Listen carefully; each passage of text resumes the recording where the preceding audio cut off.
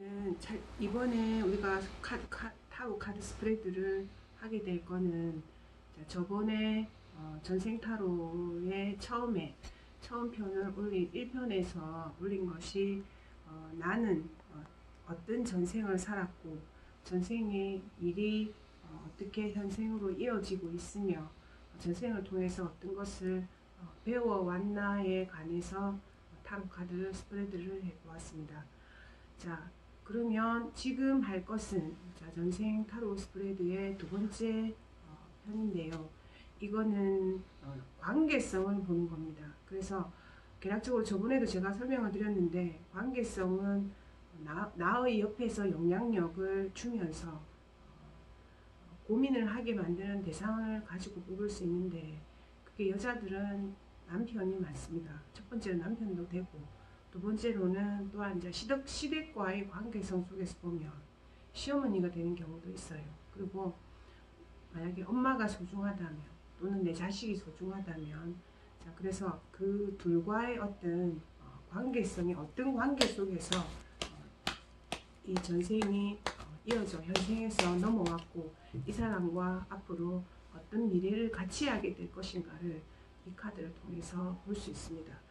카드는 모두 11장이거든요. 자, 한번 뽑아보겠습니다. 자, 보고 싶은 대상을 생각하세요. 자, 한번 모아보세요.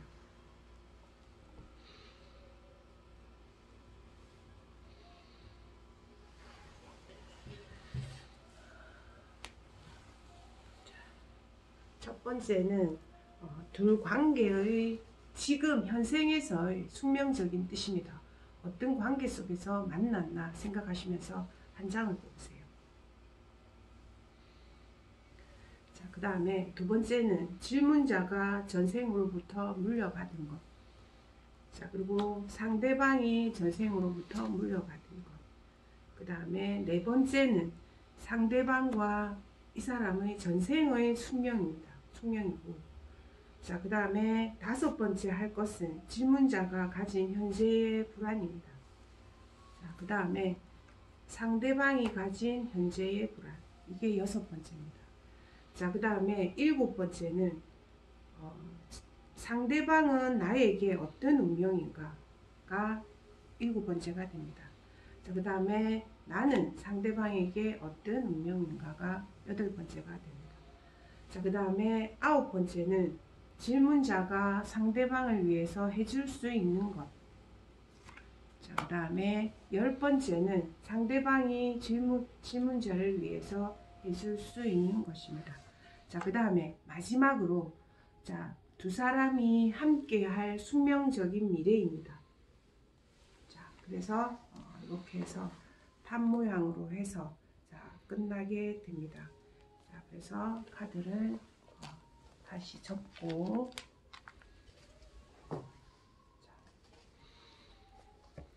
안에 있는 카드를 보도록 하겠습니다.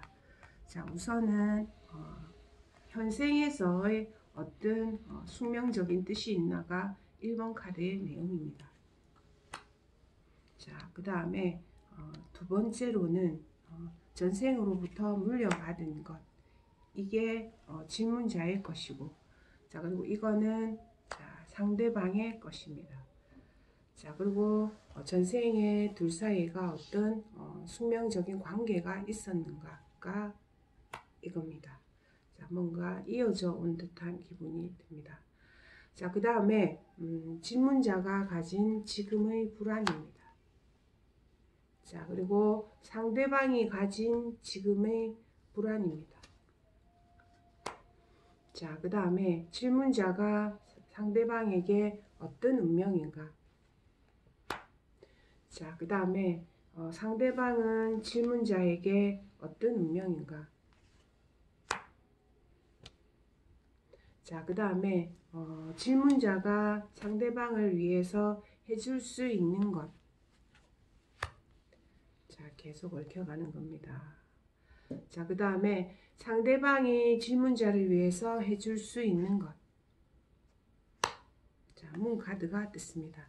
자, 우선 역방향이 나오긴 했는데 정방향이 나왔습니다. 뭔지 모르게 약간은 음적인 기분이 들면서 비밀의 느낌이 드는 카드가 나왔습니다. 자 그리고 함께 할 미래가 자 스타 카드입니다. 아주 좋습니다. 별이 되어라는 스타 카드가 나왔습니다. 이상하게 어, 과거와 연관되면서는 중요치 않은 카드인데 현재와 연관되면서는 메이저 카드인 중요성을 상징하는 카드가 나왔습니다. 자 우선은 전생의 기반을 그러니까 현재에 온 어, 떤 기반 현생이죠. 현생의 어떤 기반을 가지고 이 두 사람의 숙명적인 뜻이 있나고 했을 때는 어, 잘 모르겠다고 얘기 나옵니다.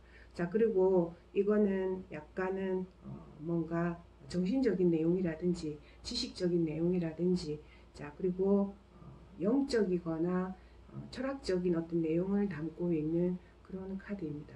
그래서 아마 어, 지식적이고 정보적이고 자 그리고 영적인 어떤 관, 관계성 속에서 현생에서 왔다가 되고 자 그리고 전생에 어, 질문자의 어떤 전생에서 물려받은 것은 어떤 탈피적인 그리고 어, 자기의 어떤 관념을 깨는 그런 요소들이 있습니다. 일상의 관념을 깨는 요소들이 있고 자 그리고 상대방은 어, 일해야 하고 공부해야 하고 그리고 어, 어떤 사연을 가져야 하고 그런 속에서 뭔가 열심히 하는 전생의 어떤 모습이 있습니다.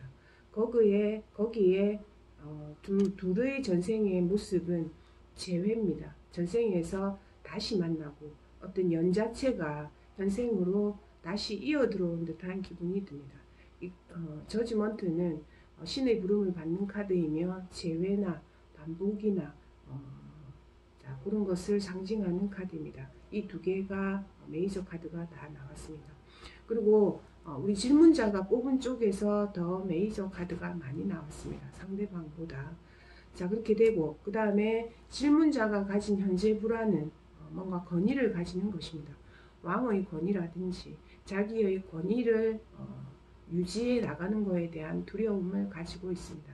자 그리고 거기에 어, 지식적인 거죠. 창조적인 것, 지어내야 하는 것, 어, 그리고 그 분야에서 어떤 열정적인 수장이 되는 것에 대한 어떤 불안함을 가지고 있습니다. 자, 그 다음에 상대방은 어, 두 가지를 어, 해야 되는, 뭔가 숨겨야 되는, 두 가지를 다 아울러야 되는 어떤 모습을, 비밀의 모습을 가지고 있습니다. 자, 그 다음에 질문자가 상대방을 위해서 할 수 있는 것은 장기적인 안목으로 보고 자, 소통하는 것과 대화하는 것과 그리고 해외와 관련할 수도 있고 장기적인 어떤 모습을 가지면서 해 나갈 필요가 있는 것이고 질문자가 아, 상대방이 질문자를 위해서 할 수 있는 것은 엄마처럼 그리고 어, 어, 하나의 감정의 감정의 선에서 지켜봐주고 어, 이해해주는 어떤 것이 필요한 것이 카드로 보여집니다. 자, 그 다음에 어, 질문자가 상대방을 위해서 할 수 있는 것은 데빌 카드가 뜨기 때문에 자 계속 연관지어서 가는 것입니다. 그래서 네, 그 다음에 상대방도 질문자를 위해서 할 수 있는 것이 문 카드가 떴기 때문에 어, 비밀과 약간 어, 서로 어, 서로만이 아는 뭔가를 가지면서 갈 수밖에 없는 어떤 상황입니다. 이 안에서 약간 움직이면서 비밀의 상황이 들어있는 듯한 기분이 듭니다. 자, 그 다음에 함께할 숙명적인 미래는 긍정적입니다. 지금은 뭔가 길이 보이지 않고 어, 조금 힘들더라도 미래를 생각하면서 어, 별을 위해서 큰 별을 위해서 어, 노력해 갈 필요가 있다. 자, 그래서 어, 무슨 아이디어라든지 어떤 창작의 별이라든지 그런 것과 연관이 있기 때문에 어, 열심히 해 나가시면 어, 굉장히 좋다고 보면 됩니다. 그리고 이 지금 이 둘 사이에 음, 전생에서 물려받은 뜻은 어, 수명적인 뜻이 있으며 연을 이어왔죠. 수명적인 뜻이 있으며 다 드러나서 오픈하지 못하, 못하게 하는 어떤 사회적 환경이 있으며 그 속에서도 계속 이어져 가야 하는 어떤 어, 전생의 모습이 있다고 보여집니다.